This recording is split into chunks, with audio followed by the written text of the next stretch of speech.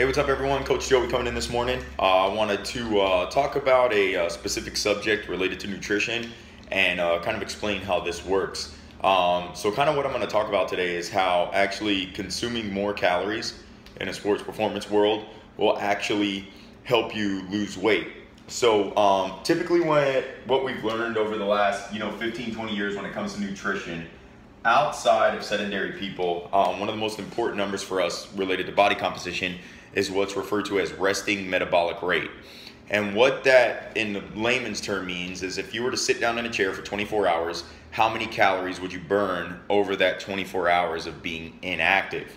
Um, and that's the number that we try to manipulate, which in turn is going to help our body burn fuel more efficiently. And when we talk about fuel, we have fat, carbohydrates, glycogen, uh, so different areas of fuel, protein in a worst case scenario, but that's not what our goals are as, you know, people who stay as active as possible.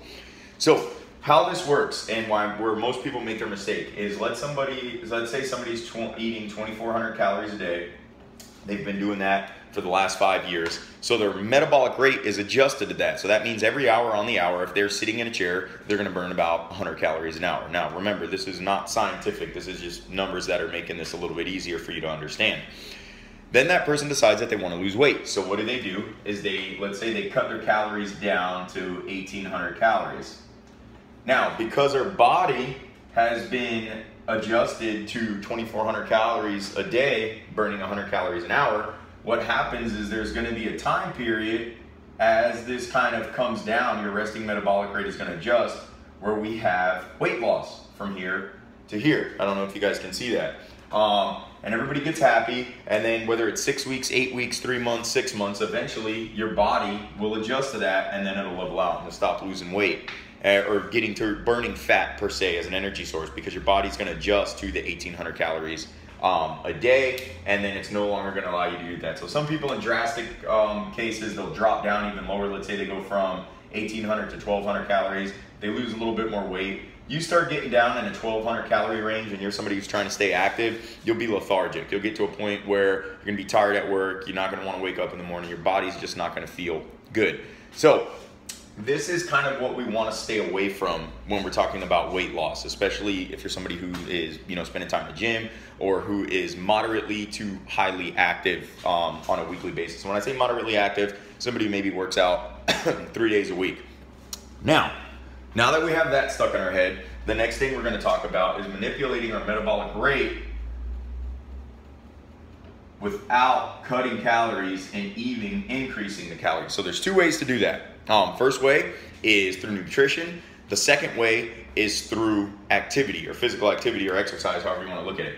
So let's say we keep the same number. Um, we're going to use a baseline of 2,400 calories. And let's say we increase that number.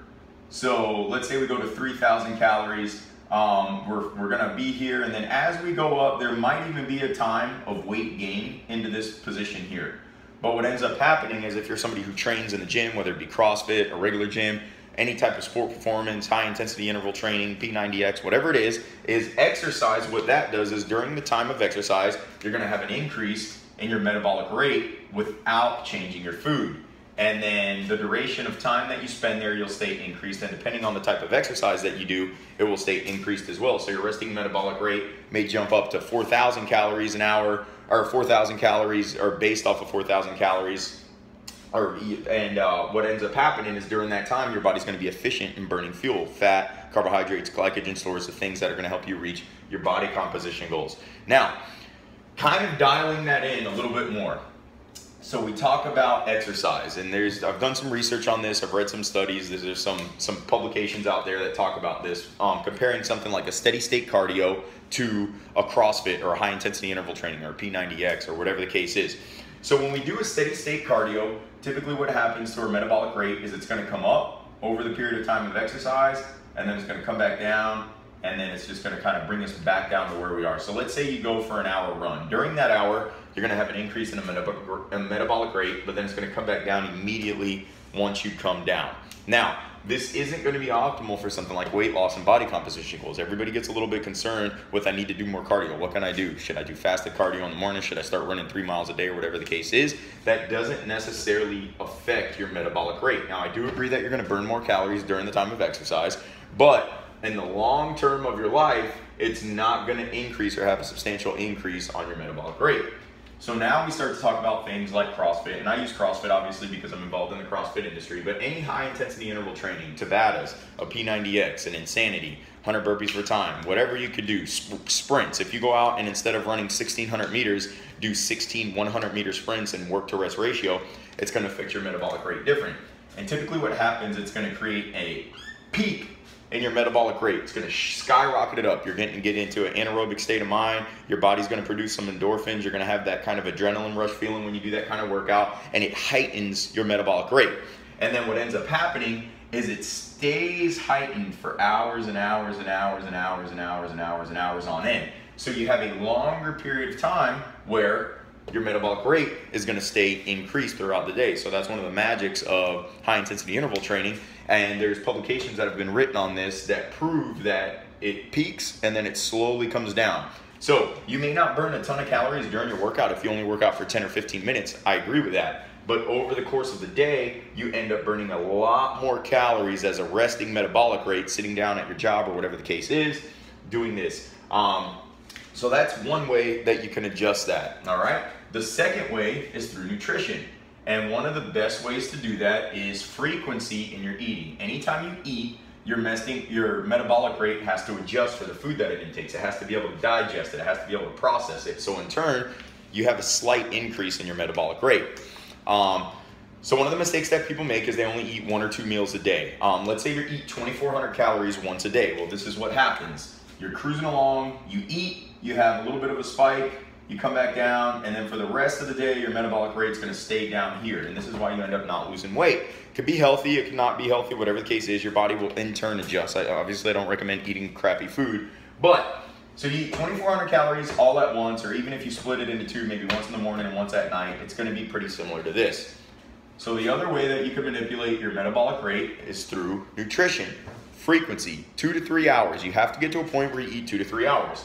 What happens when you do that is, let's say your resting metabolic rate is normally 2,400 calories per day. Um, you eat in the morning, your metabolic rate comes up, and then as it starts to come back down, maybe two or three hours go by, boom, you eat again, it comes back up, it starts to come back down, boom, you eat again, it comes back up, it comes back down, boom, you eat again, it comes back down. Now, if you look at this, we're spending a lot more time keeping our resting metabolic rate at a higher level throughout the day. So that's gonna give you an opportunity without even stepping into the gym to manipulate your metabolic rate. Now, obviously, this is broad, simple terms. It's a little bit more in depth than this, but this kind of stuff works. It's proven. Literature is written on it. This isn't something that I'm just making up. This isn't something I came up with either um, by any means. Um, but I just wanted to share some of the stuff that you know I work on in my spare time and kind of pass that guy uh, information on to you. Now, like I said, if you guys ever have any questions about any of this stuff, come see me in the gym. But this is a good bit of knowledge that's going to help you get on track. It's going to help you perform better in the gym. It's going to help you with your body composition goals, and it's going to help you stay on track with your overall fitness goals. All right, you guys. Sorry it was a longer video. If you watch it to the end, you get some good information. Coach Joey, CrossFit Ocala. Uh, hopefully, we'll see you guys this afternoon. If anybody has any questions about anything, you always know where to find me. Have a wonderful day.